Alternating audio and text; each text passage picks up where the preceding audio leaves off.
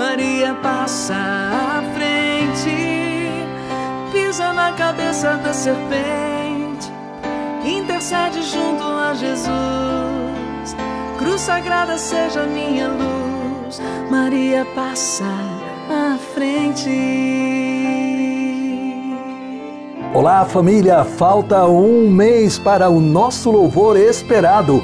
Você já está se organizando? Teremos a presença da querida irmã Zélia, animação de Marília Melo. Um dia de pregação da palavra, de oração pelos enfermos e grandes milagres dia 19 de fevereiro, das 8 da manhã às 17 horas, no Ginásio Municipal de Itapecerica da Serra, Avenida Dona Anila, Rua da Delegacia.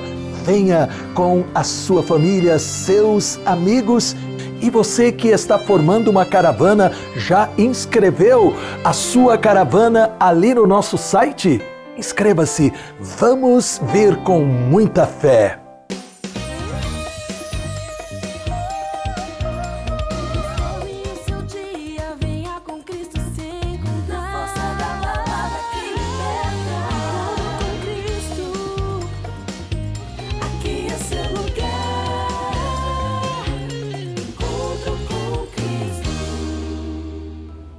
Louvado seja nosso Senhor Jesus Cristo, que para sempre seja louvado, porque Ele opera maravilhas em nossa vida.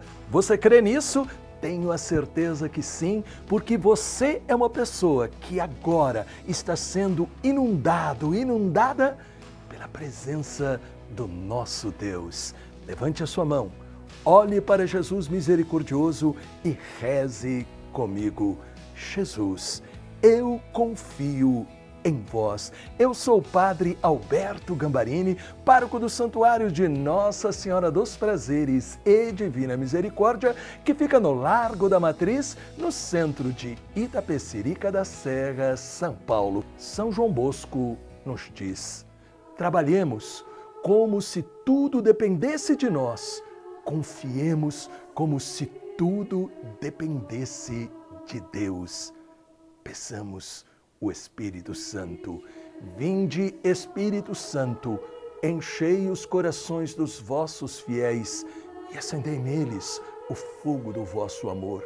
Enviai o vosso Espírito e tudo será criado e renovareis a face da terra. Oremos. Ó Deus, que instruístes os corações dos vossos fiéis com a luz do Espírito Santo, fazei que apreciemos retamente todas as coisas, segundo o mesmo Espírito, e gozemos sempre da sua consolação. Por Cristo, Senhor nosso. Amém. Já ouvi tantas vezes as pessoas dizerem: Ah, Padre, eu estou precisando de um milagre. E às vezes até esta pessoa vai todos os domingos na Santa Missa, mas quando ela fala, parece que está ali desanimada, não sabe o que fazer. Eu quero dizer para você que a maior fonte de milagres deixada por nosso Senhor Jesus Cristo está na Eucaristia. E por quê? Porque ele não deixou ali simplesmente uma lembrança para ser repetida como se fosse uma peça de teatro. Não. Aquilo que Jesus quis que fosse continuado é aquilo que ele começou na Quinta-feira Santa, quando ele disse: Isto é meu corpo, isto é o meu sangue, para que aconteça em nós aquilo que ele fala aqui em João, no capítulo 6, versículo 56. Quem come a minha carne e bebe o meu sangue permanece em mim e eu nele. Repare, quando nós vamos, principalmente no domingo, participar da Eucaristia, da Santa Missa, não vamos somente para um prédio. Mas nós entramos na sala de cima, na sala do cenáculo, onde Jesus começou a Eucaristia que continua em nossos altares. Quando nós entramos na igreja, nós estamos entrando em nossa casa. E São Pedro Julião Eimard, ele diz que Jesus está pronto para atender a todos os nossos pedidos. E ele completa. A nossa participação na missa não pode ser simplesmente um hábito piedoso, uma obrigação, um costume, mas tem que ser o desejo de ouvir Jesus, tem que ser o desejo de a gente ser curado e libertado por Ele. Por isso, São Pedro Eimard ele diz: temos que aprender a ouvir o que ele fala. E temos que recebê-lo na Eucaristia com a certeza de que ele age. Quantas vezes depois da comunhão nós não fazemos aquilo que ele diz em um dos seus livros? Deixai, se quiserdes, que a santa hóstia permaneça um momento sobre a vossa língua, a fim de que Jesus, verdade e santidade, a purifique e santifique. Introduze-a depois em vosso peito, no trono do vosso coração e adorando em silêncio, começai a ação de graças. Repare que maravilha! Comungar, voltar para o nosso lugar com a certeza. Sou um sacrário vivo Jesus está aqui, não vou perder a oportunidade de abrir para Ele o meu coração. E aí então você descobre: não posso mais ficar sem participar da Eucaristia, porque é Jesus que vem habitar em mim e vem me tornar um novo homem, uma nova mulher. Deus maravilhoso, dai a cada um destes teus filhos e filhas a graça de, entrando na Santa Eucaristia, ter este encontro curador com Jesus. Amém. Descubra este poder que está à sua disposição.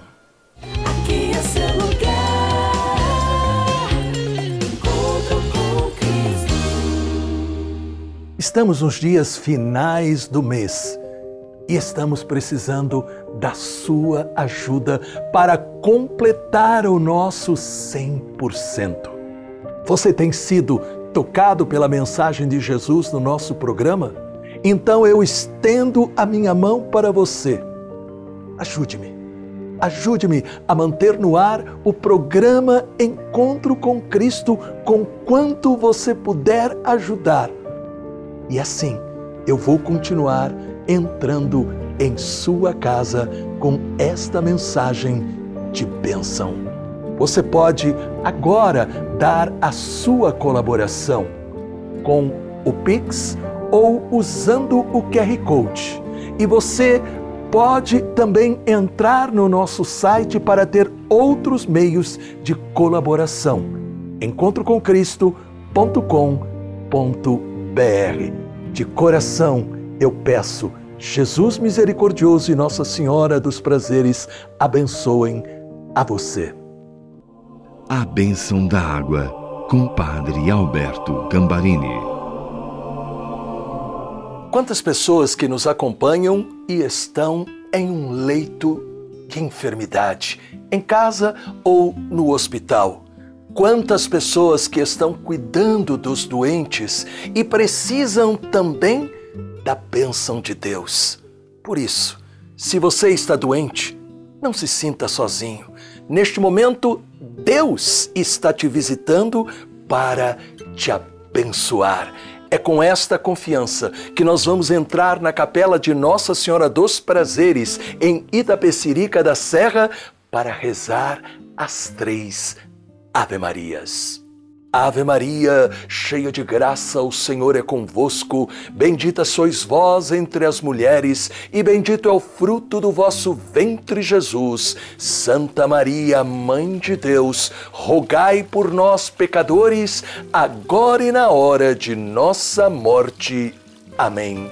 Ave Maria, cheia de graça, o Senhor é convosco. Bendita sois vós entre as mulheres, e bendito é o fruto do vosso ventre, Jesus. Santa Maria, Mãe de Deus, rogai por nós, pecadores, agora e na hora de nossa morte. Amém.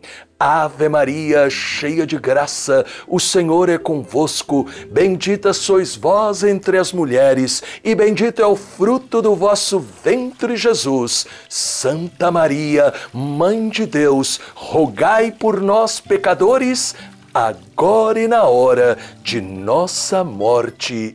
Amém.